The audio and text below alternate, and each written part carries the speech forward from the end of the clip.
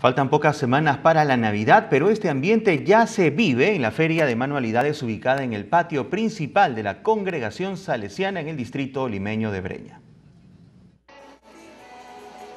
Con el apoyo de la Congregación Salesiana, 80 mujeres emprendedoras están organizando una feria de manualidades denominada Arte y Decoración.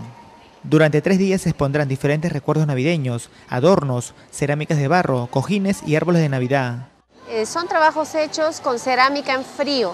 La cerámica en frío es una masa que ya viene lista, preparada para que todas podamos trabajar. Eh, lo que hacemos son unos frascos que son ideales para negocio. Ahí pueden guardar chocolates, caramelos. Es algo ¿no? original, un buen regalo para esta Navidad. Además de coloridas tarjetas navideñas, con dibujos alusivos a la alegría de los niños. Por más de cinco años en decoraciones, Juanita Loyola elabora muñecas con materiales de reciclaje. Y este proyecto es una muñequita Heidi.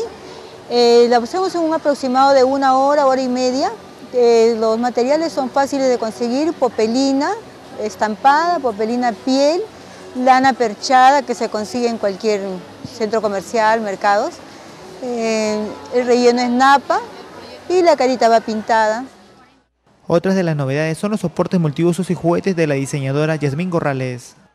este es un portagancho hecho todo a mano con materiales muy cómodos y muy fáciles de encontrar.